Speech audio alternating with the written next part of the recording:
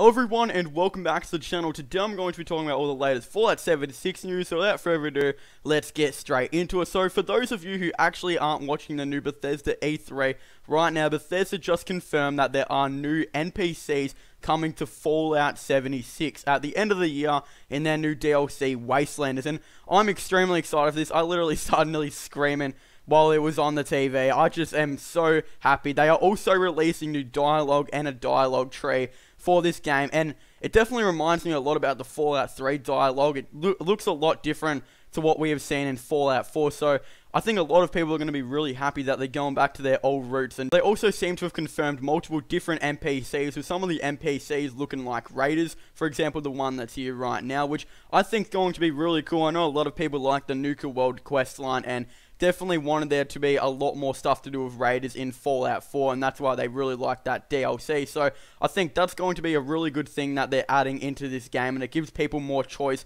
whether they want to be evil or a good guy. So that's always going to be real, um, really good. But yeah, they're also adding the new main quest line, which I think we desperately need because obviously the Fallout 76 quest line is has been desperately criticized for being one of the worst Bethesda quest lines that we've ever gotten. So yeah, this new quest line can't come soon enough. So, yeah, we definitely really need this in the game. And what I think is going to happen and what it seems to be with the trailer is it seems to be that it's actually going to take place in um, the future than what it is right now. So pretty much what I mean by that is it could take place in like a year and all the new wastelanders from other areas could start be coming to West Virginia and that's how we could meet these new people and yeah, I'm pretty sure these guys might be the first people that we ever um, get introduced to, and then we might have to help them settle in and do all that type of stuff. But there could be also some evil options with that. Maybe we could go meet the Raiders shortly after helping out these people, and they're trying to get to Rose and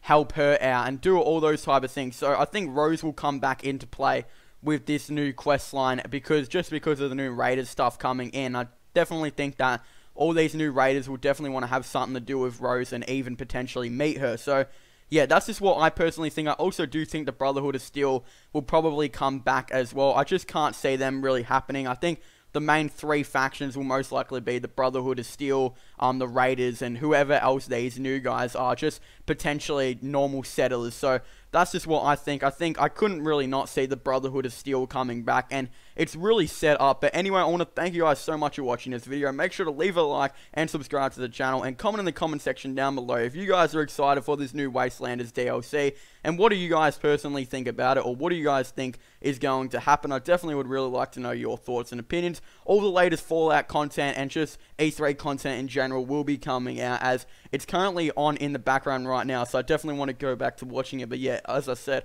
I want to thank you guys for watching. Leave a like, subscribe, and comment, and I'll see you guys next time. Goodbye.